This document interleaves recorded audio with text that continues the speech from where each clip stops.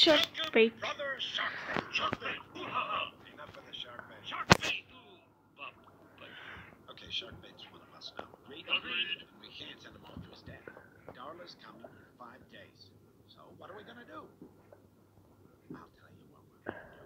We're gonna get him out of here. We're gonna help him escape. Escape? Really? We're all gonna escape. Gil, please, not another one of your escape plans. Sorry, but they, they just, they never were. Got him. Me? You see that filter? Yeah. You're the only one who can get in and out of that thing.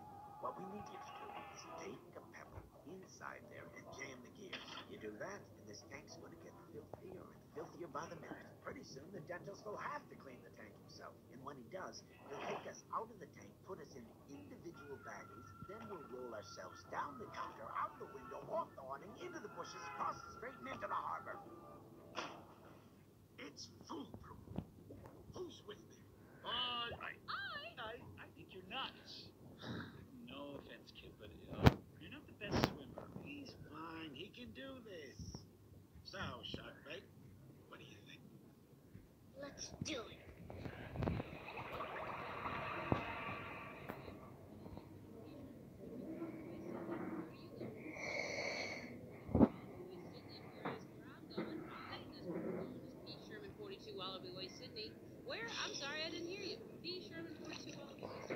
again. name is Jody.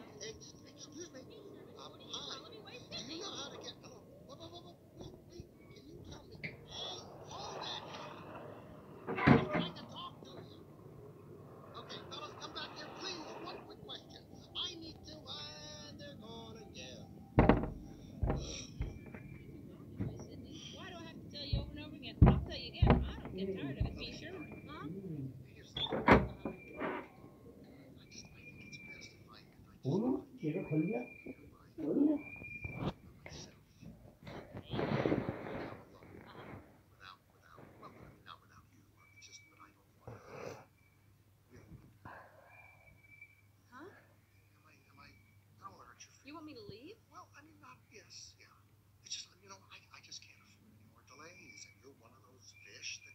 Delays.